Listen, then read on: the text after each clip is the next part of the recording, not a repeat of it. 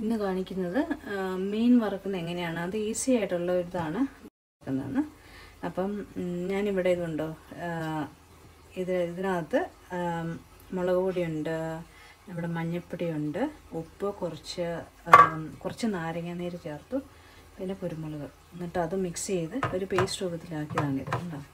നന്നായിട്ട് അത് യോജിപ്പിക്കണം.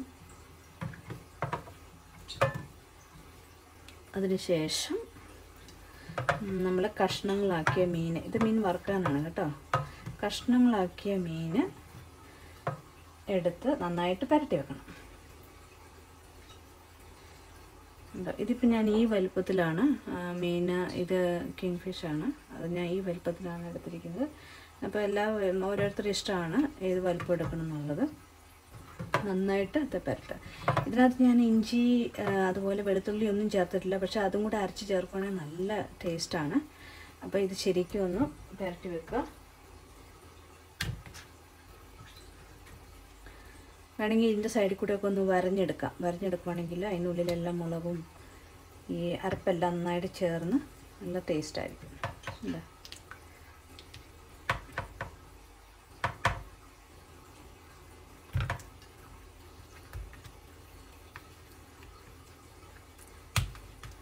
ഇത് അരപ്പ് നന്നായിട്ട് ചേർത്തിട്ട് കുറച്ച് നേരം നമുക്ക് പുറത്ത് വെക്കുക അല്ലെങ്കിൽ ഫ്രിഡ്ജ് ഉണ്ടെങ്കിൽ ഫ്രിഡ്ജിനകത്ത് വെക്കുകയാണെങ്കിൽ അതിനായിരിക്കും കൂടുതൽ ടേസ്റ്റ്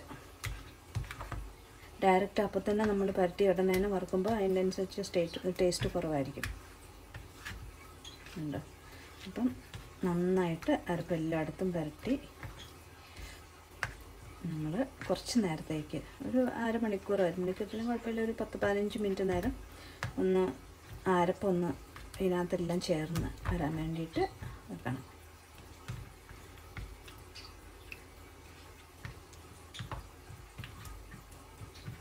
ഉപ്പ് ഉപ്പ് നമ്മുടെ ആവശ്യത്തിന് ഇടുക കേട്ടോ. ഞാൻ എല്ലാ പ്രാവശ്യം എനിക്ക് എപ്പോഴും നല്ല ഉപ്പ് വേണം കറികൾക്കൊക്കെ. ഓക്കെ? ഇതിനി നമുക്കൊന്ന് മൂടി ഫ്രിഡ്ജിനകത്ത് വെക്കാം.